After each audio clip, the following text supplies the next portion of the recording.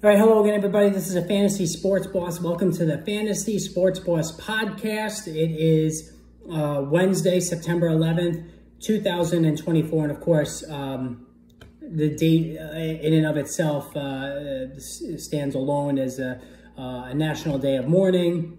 And certainly here in New York, it was uh, um, a day that I'll certainly never forget. Uh, and, and, and, anybody who lived through that, especially in the tri state area or lost a loved one, uh, to the to the tragedy that was 9/11 um, certainly understands that the pain uh, that that day brings forth to anybody who um, you know, like I said, who was impacted from that. So I wanted to uh, just acknowledge that before going into the uh, program today. And you know, even all these years later, was it 23 years now?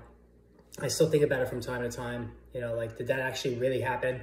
Um, so just a couple of couple of thoughts on 9/11. Um, which you know should still and always be a national uh, day of mourning.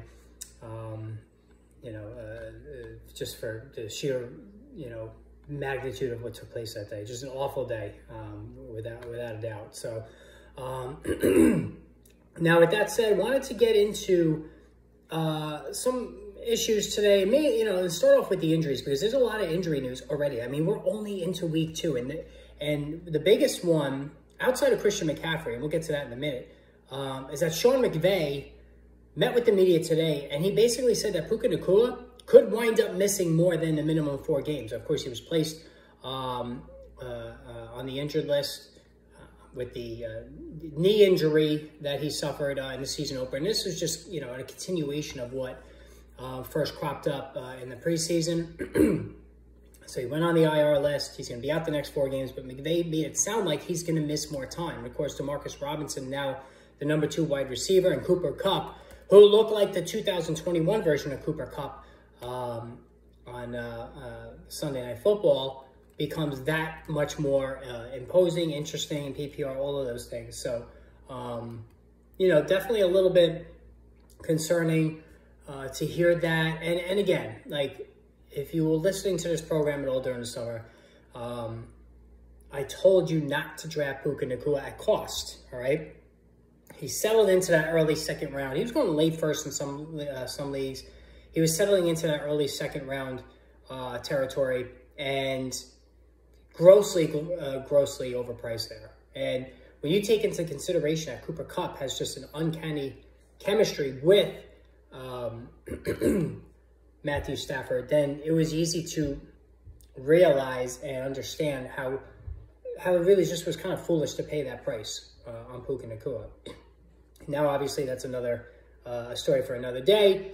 He's going to be out uh, for four games minimum. Now it looks like he could be out longer. Another guy going on IR today was Audric Estime. So the Broncos, Audric Estime was somebody who, you know, if you're in a, a dynasty league, he, would, he had some interest, but um, it was minimally involved in the opener was more like a long-term hedge that maybe down the line he can get some playing time. But um, it now looks to be strictly uh, Javonte Williams and um, Jaleel McLaughlin. Jaleel McLaughlin got more touches. And when you look at this backfield, um, there was some thought that maybe Javonte Williams was going to have a comeback season. He looked good in the preseason. Last year was a disaster as he was coming back uh, from the torn uh, ACL, MCL, real serious knee injury in 2022 and he didn't play well at all last year. And he didn't look good in the opener either. Um, wasn't involved in the passing game. Jaleel McLaughlin, who's got speed to burn, is really splitting carries with Javonte Williams and is strictly the third down back. All right, so um, you know it's it's it's uh, gonna possibly help Javonte Williams. so if you're holding, I have Javonte Williams on two teams. I'm kind of embarrassed to admit that. He's he's a depth piece. He was a running back three on both of my teams, or maybe even a running back four um, on one of my teams. But I did not start him in the opener, um, and I'm certainly not going to start him going forward until we see any kind of um, promising signs there. I mean, if you guys remember when he first came into the league, uh, he looked he looked fantastic. Like he had good speed, was a tremendous receiver. He looked like a guy who was going to be a first round pick in PPR leagues. And then, of course, disaster struck with the knee injury. He's just never been the same since, right? Some guys just don't bounce back from these injuries. You know, we've seen a lot of success stories over the years, but some guys just don't make it. And it looks like Javonte Williams could be that guy. All right, Russell Wilson was limited. Say Justin Fields will get the start. Um, against the Denver Broncos. So, um, no opportunity for Russell Wilson to get revenge on the Denver Broncos. Uh, so Justin Fields will get the start. And listen, I said this to you before last week when Justin Fields, I begged you all to stop what you were doing and pick him up off waivers. Now, he didn't put up a big uh, point total in fantasy-wise last week. It was a tough matchup for him. But if he wins again this week, and chances are against a bad Denver Broncos team, he will, um, it is certainly more than likely that Justin Fields is not going to lose his job, right? Things were so close in terms of handicapping the two of them in the preseason that it would surprise nobody if Justin Fields holds on to the job. And we've seen what Justin Fields is capable of in fantasy. He's a top 12 quarterback. Um, he rushed, you know, 10, what, 10 to 12 times in the opener. And again, it was no breathtaking place, but he's fully capable of doing that. Like, he's a runner on par with Jayden Daniels and Lamar Jackson. Like, those three are kind of like the cream of the crop when it comes to running quarterbacks. So, it is certainly uh, well within the realm of possibility that this is now Justin Fields' job. And if he's available anywhere, you pick him up. Absolutely. A top 12 quarterback that's sitting in the waiver wire, it just shouldn't happen. All right. Um, Matt LaFleur caused a start today. He said that he's open to the idea of Jordan Love starting in week two, and it was assumed he would miss about three weeks. Um, says he doesn't need to practice uh, to get back. And this seems like something that is probably coach speak. I can't see Jordan Love coming back that quickly. Um, but eh, just the fact that they're talking about it is a good sign. Remember, this was a major, major bullet that was dodged. I mean, it looked like Jordan Love had ripped up his knee. He was going to be out for the season. He an MCL injury, not an ACL. And it looks like he's going to be good to go probably by the end of the month at the latest. And the fact that they're even talking about him possibly coming back um, early as soon as this week is, is big news. Jameson Williams was limited with an ankle injury. Um, you know, it, the fact that he was limited today means he should be okay. But um, a guy with a history of, of injury is something to watch. And again, I, I said on the live stream the other day, I have zero concern about Amon-Ra St. Brown. Okay? It was just the way the target distribution went. Uh, the Rams shaded toward St. Brown's side of the field, and Jameson Williams got open. When you have the speed that Jameson Williams has, it's going to create big plays and create opportunities. Now, opposing defenses are certainly going to be aware of Jameson Williams, and that's going to soften things up for Amon-Ra St. Brown going forward. I don't think there's any issue there. You're not even going to be able to buy low. People are, are know how good Amon-Ra St. Brown is. Um, all right, MCL sprain for Roma, Rome Odunze. He did not play.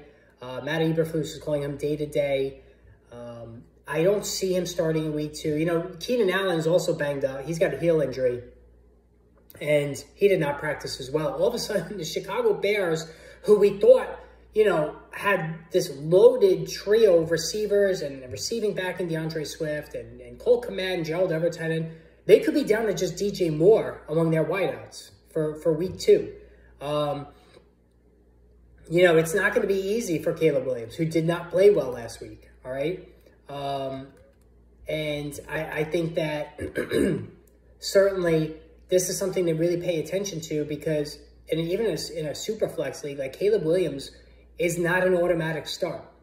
All right. I think the world of the other kid, he's got tons of talent. He's going to come to the forefront eventually. But Jayden Daniels, give me him over Caleb Williams any day now as far as starting. Christian McCaffrey was limited today. He's got the calf. Um, Kyle Shanahan, listen, things are getting a little out of hand here with this. There was mention about an Achilles injury, and instantly, oh my God, he's going to be out for the season. No, that's that's not it. Um, even Kyle Shanahan said he's not going on the IR. That's not happening. All right. Um, what I can, what I would say about this, um, both Adam Schefter and Ian Rapoport have already come out and said McCaffrey may not play this week. It, he probably won't. There's no reason to play him. When you have Jordan Mason coming off a 147-yard game, if and I've been saying this for two years now, and they 49ers didn't do this last year. Dial back the touches, and I'm talking real world football, which will impact fantasy. The 49ers can win the Super Bowl. They need a healthy Christian McCaffrey. They finally have a backup they can depend on in Jordan Mason. Dial back the touches. Like what the Lions did with Jahmyr Gibbs early last season. They barely gave him the ball the first month of the season, then he was gangbusters by the end of the year. They need to treat McCaffrey almost like put him in glass for a little bit. He's 28. Tons of mileage on his body. Jordan Mason has ability. He can do the job. If you're a Christian McCaffrey owner, you drafted him number one overall, well, clearly you didn't listen to me because I told you not to do that. And I took a lot of heat on here. How could you not draft Christian McCaffrey number one? He's the best player in fantasy. Blah, blah, blah. Thousand yard runner and receiver this year. You watch. Great. Not taking anything away from him talent wise. But again, the one of the cardinal sins that people in fantasy football community do is they ignore, they don't get out a year early. They get out a year too late. It can be tough to resist. Listen, he, had, he was beyond phenomenal last year. You're holding a number one pick. Oh my God, I can get Christian McCaffrey. Look what he did last year. But he's 28. I, I don't draft backs 28 years old if they have, have had high workloads.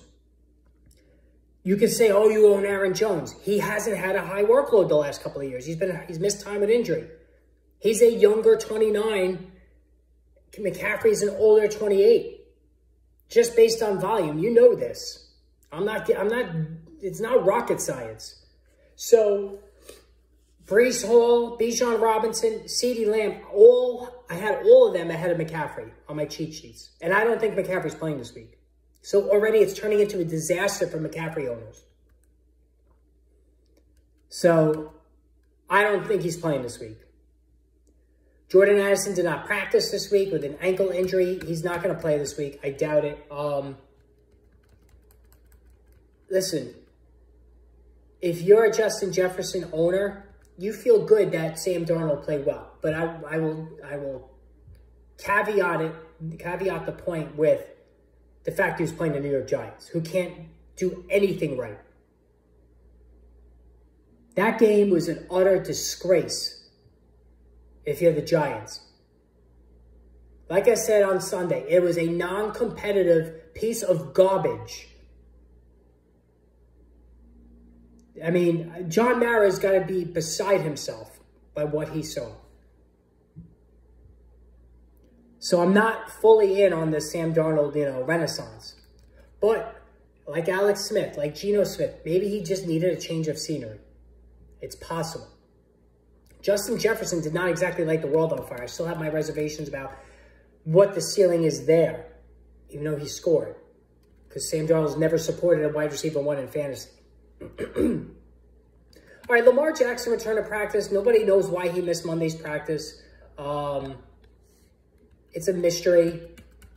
So, you know, it, you're always running that risk with Lamar Jackson that he's going to get hurt because of all the running he does.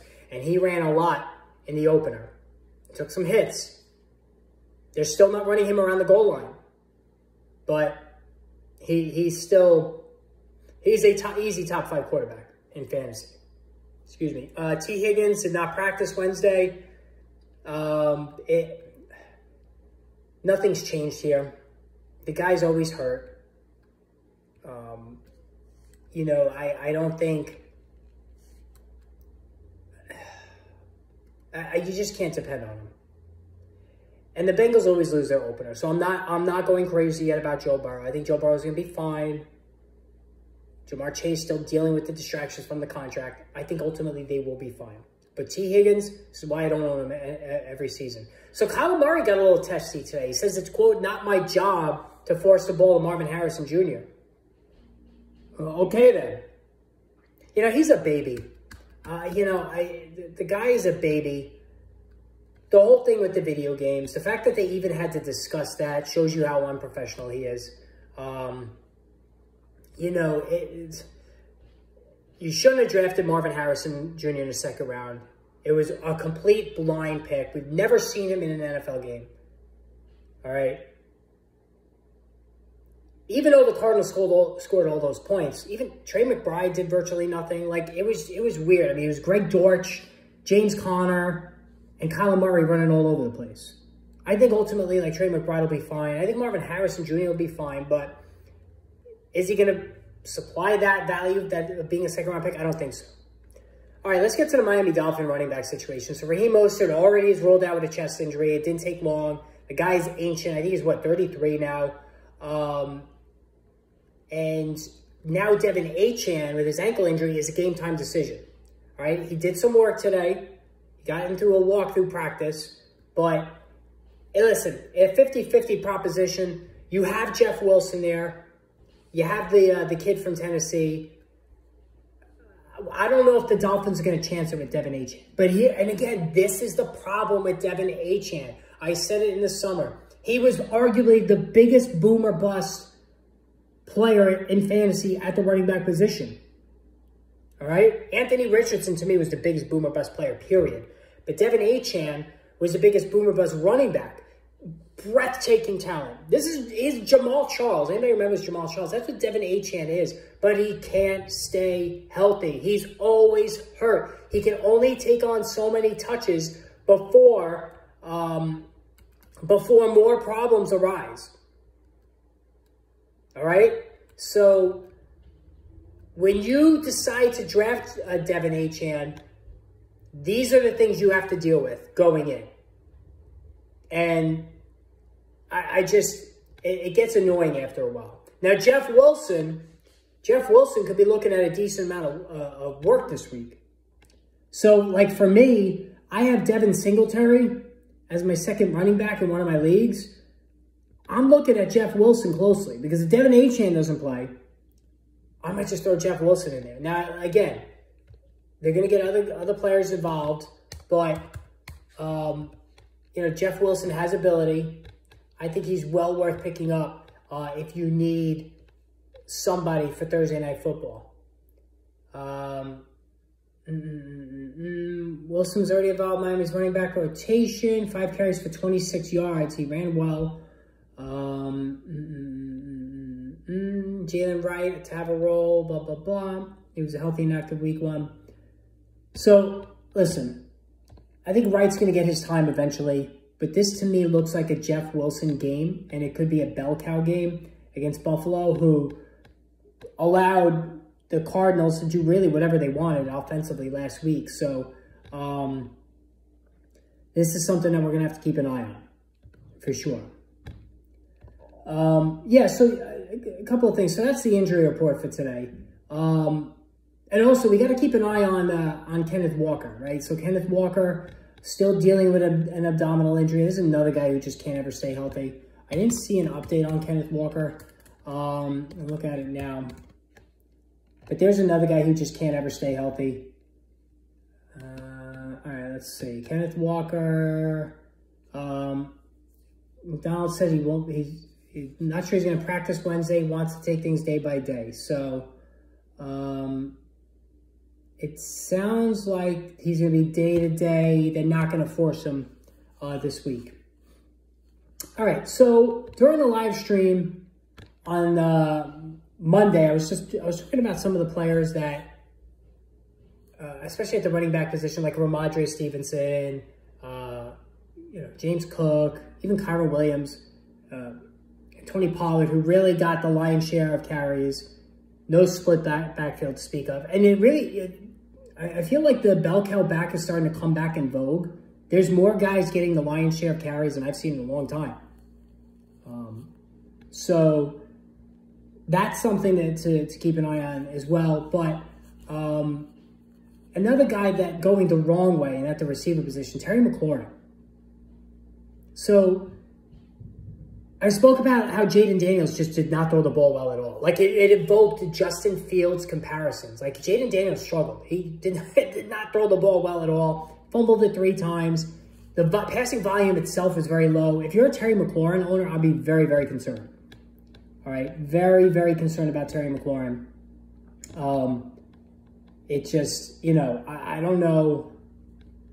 Um, I, I don't think we're going to get that Terry McLaurin uptick in value that many thought was possible now that they had a they drafted a, a blue chip quarterback.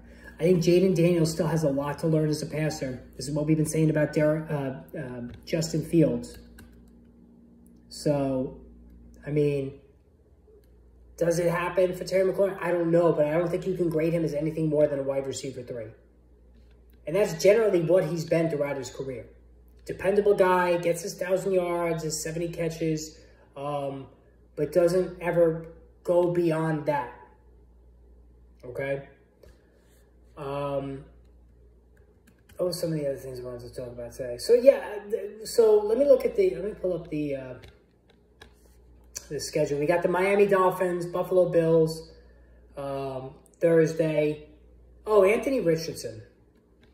Let me talk about Anthony Richardson for a second. So Anthony Richardson, another one who struggles to throw the football, but unlike the, I do like him as a better passer than Fields and Jayden Daniels. Um, Anthony Richardson, to me, could absolutely break fantasy football this season. Let me just pull up his his numbers. So he only completed 9 of 19 in the opener, all right?